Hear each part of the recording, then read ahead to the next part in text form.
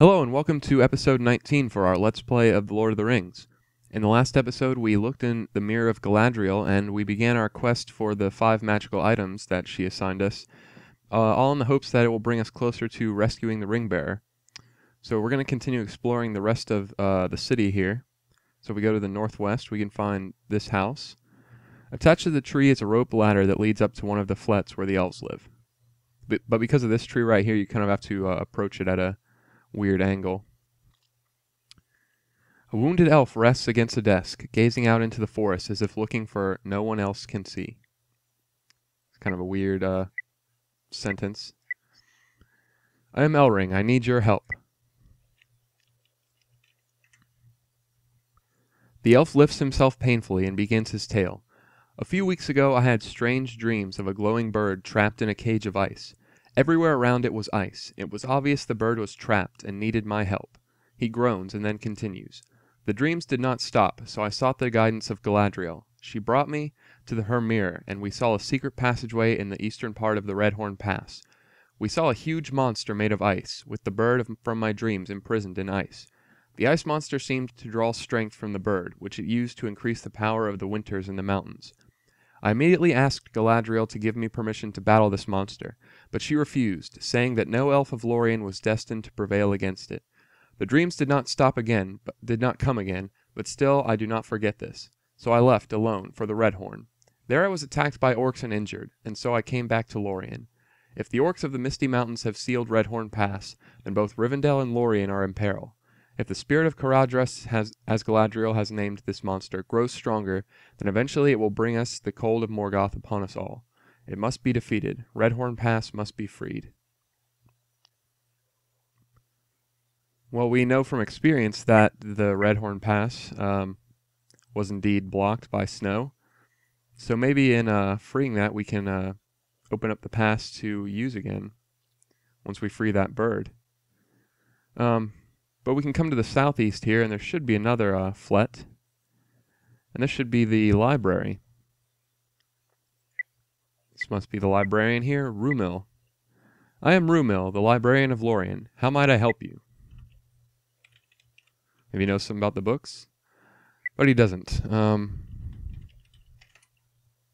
there is much lore here that you that may prove useful to you. Search carefully and read thoroughly.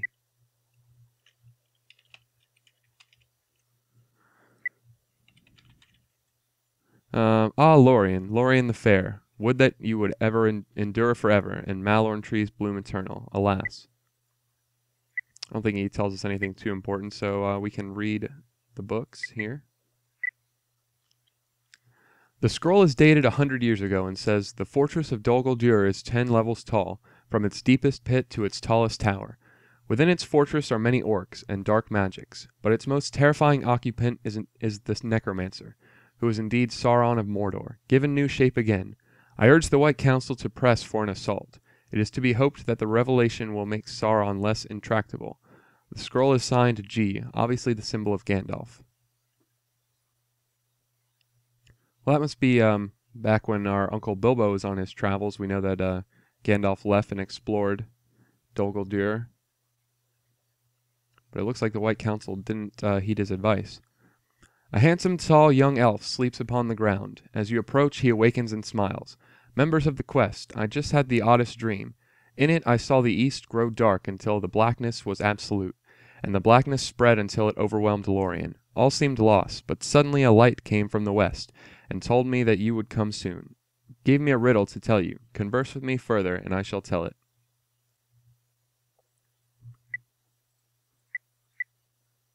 Esteladel, I think is how you say that. I have a riddle on which you must question me. Who is the greatest enemy of all?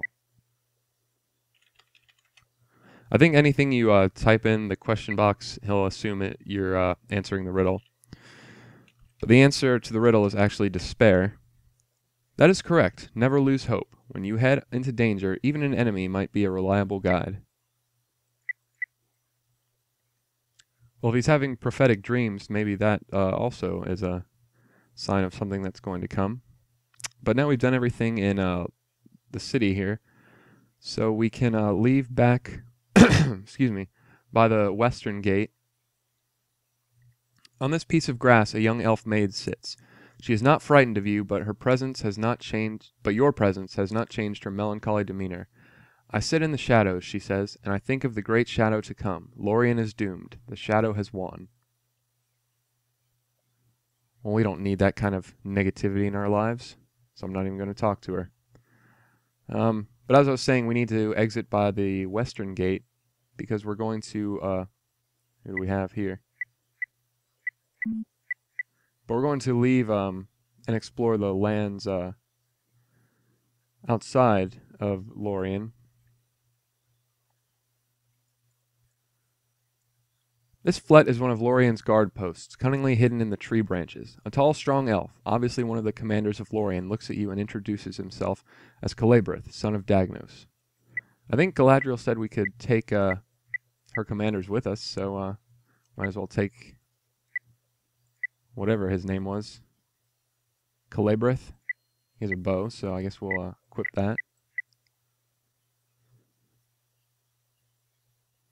But we're going to explore the lands uh, outside of Lorien. I know I've said that a couple times, but we need to leave by the western gate uh, in order to get back to the mountains, first of all.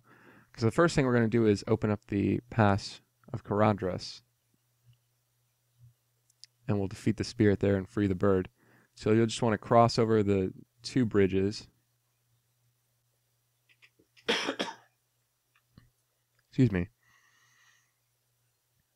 And if you uh, continue to the west, we should uh, come to the Misty Mountains before uh, all too long. And here's the, the pass. And that's why we hung on to the warm clothes and the Miruvor, in case we ever need to um, go through this pass again. And once you open it up, you can use it to go back to uh, Rivendell or Bree or the Shire, anywhere to the west.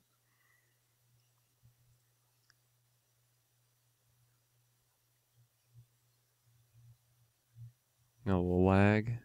All right, there we go.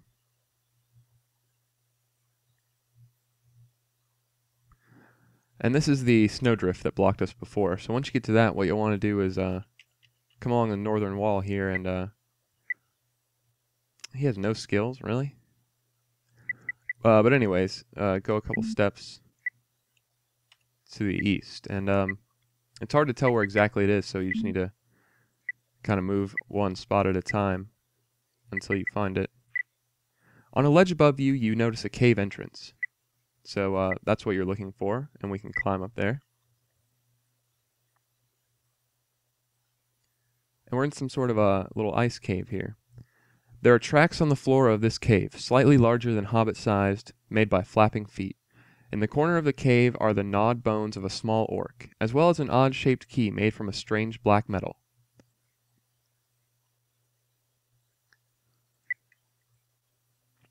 Well, maybe we'll um, find the lock that key goes to, and uh, since we found it with orc bones, uh, might be something uh, orcish. So we'll come to the ladder here. Not since the days of Angband has the world known such cold. Ages ago an evil spirit entered the misty mountains and begrudged all creatures who traveled on his slopes, for it viewed the mountains as its own personal property. And as the ages passed, the spirit of Caradhras grew colder and colder, and it begrudged all warmth, and plotted to destroy it. And so the spirit Caradhras ca- captured some of the warmth of spring, in the form of a bird, and imprisoned it in a cage of ice. Since then the mountains have been subject to the unchallenged will of Caradhras, and its malice has grown as great as its might. This cave is the dwelling place of cruel Caradhras, spirit of the Red Horn. Imprisoned in a pack of ice is the bird of spring. The great coldness seems shocked that anyone would dare challenge it. Fool! It hisses like blowing snow rolling upon ice.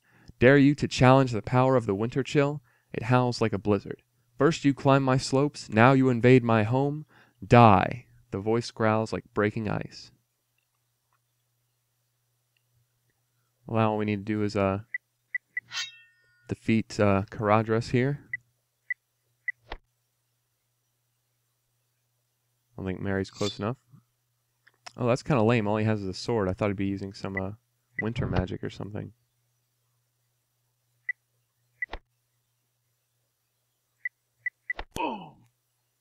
And you can uh, take his sword if you want, but um, not going to. The spirit is broken. It rises up like a blizzard, then melts into a pool of black water. A west wind rises and blows its fragments into nothingness. Caradhras is now defeated, but his works are not at an end. A brown bird remains imprisoned in a sheath of ice. I said I wasn't going to take the sword. Oh, fuck, I don't have a chance to. Oh, well. I'm sure uh, some other swords will um, come up at some point.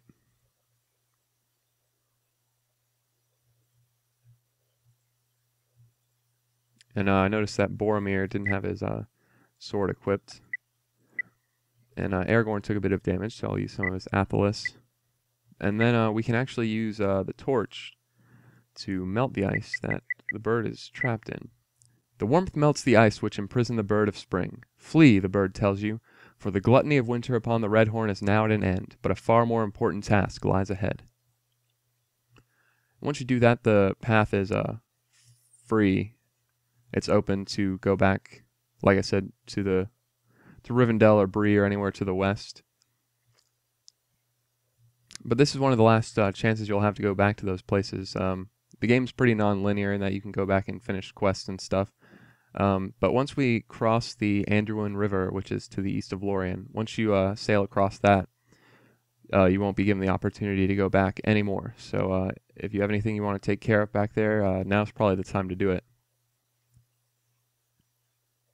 We have a few more things we're going to do in Lorien. Um, we still have some of the magical items to search for, that Galadriel told us about. So to find the rest of those, we're going to keep exploring a kind of a clockwise pattern around the outside of Lorien. But you'll have to cross this uh, bridge, the first one, to go any further north. And so we can just follow the riverbanks here. And uh, to the to the right, that's the uh, edge of the forest. So just to give you an idea of where we are.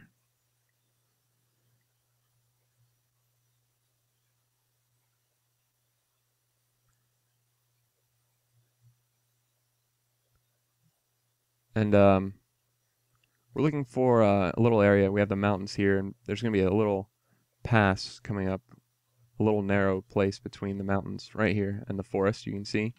You notice that this is the sort of terrain where orcs like to station snipers and ambush travelers.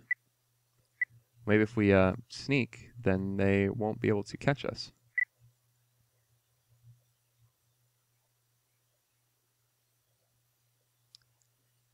We have some more ruins here. The mournful ruins stand alone. The dwarves built them long ago, and like most things of dwarven manufacture, endure, even when the dwarves themselves were slaughtered long ago.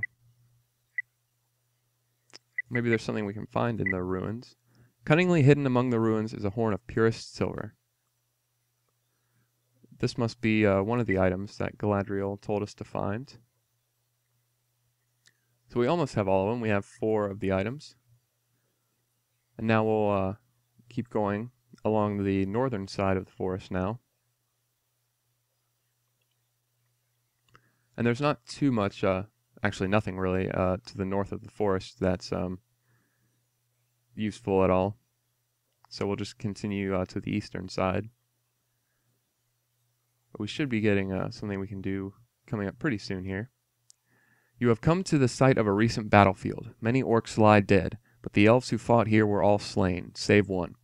The orcs have an encampment, swamp. The elf is clearly dying from many wounds. Nothing can save his life. They must be killed before they can set up a camp. Unless you do so now, the quest might never cross the... With that, the elf gives his last breath.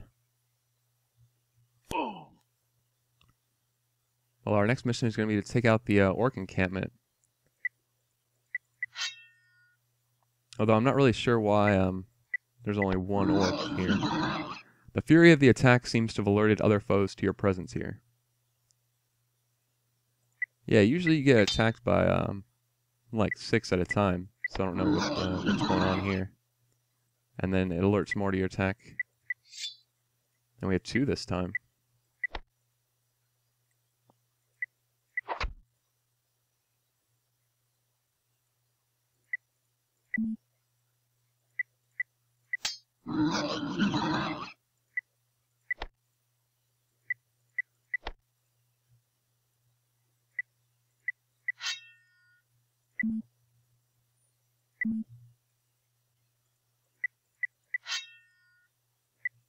We should be getting uh, pretty close to beating this Olog Hai here. Yeah, like I said, I don't know why we only have um, one of each to deal with. Usually there's like six enemies or so, but I guess better for us, right? So fierce is your ability in battle that the remainder of your foes are dismayed. Several minutes later, they press in for an attack. When the armies of Lorien arrive, the orcs are driven into the river. None return to Dol Guldur. You have won a great victory. And we get a bit of a stat boost uh, for our characters, I think, when we do that. Yeah, we're working with some pretty high uh, health and stuff here. Um, so that's something you'll definitely want to do. And I think this will be a good place to bring this episode to a close. And um, so next time we will be uh, exploring the rest of the lands around Lorien, and we'll finish collecting the five uh, items, and um, we'll sail uh, east to reclaim the ring bearer, and we will uh, we will do all that in the next episode.